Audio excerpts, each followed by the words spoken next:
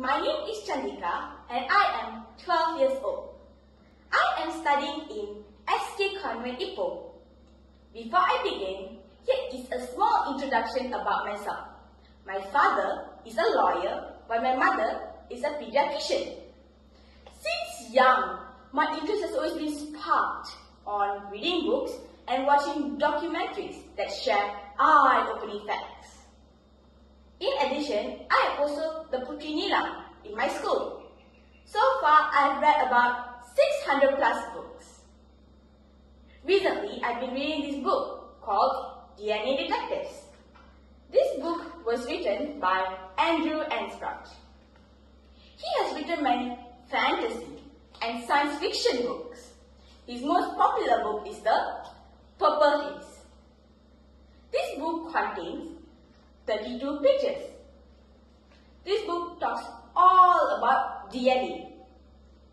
Every living being on earth, from plants to animals to microorganisms, reproduces or creates new versions of themselves.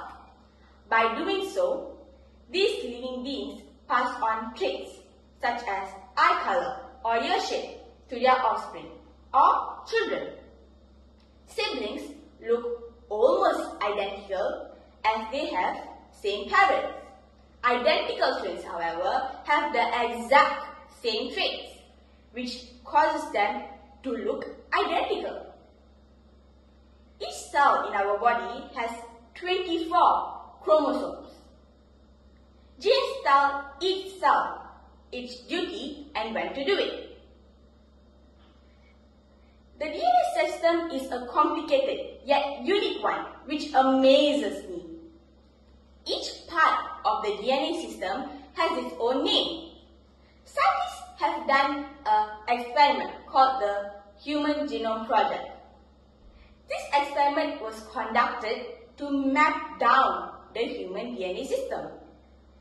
This experiment cost billions of dollars. Experiment started in 1999 and ended in 2002, which was much earlier than expected as they predicted this experiment to end in 15 years, which is in 2014. DNA plays such an important role in our daily lives, doesn't it? People called geneticists are people who specialize in DNA. They work on ways to cure diseases and a cure to human hunger. DNA is also important to solve crimes, identify dead bodies, protect endangered species, and many more. This book has taught me a lot about human DNA and has increased my general knowledge in this field, as well as inspire me to become a geneticist when I am older. Reading is such a useful hobby as it increases our knowledge, helps us pass our time, and inspires us. I really enjoy reading this book and I'm really happy that you've lent me your ears. I hope you have a great day. Bye!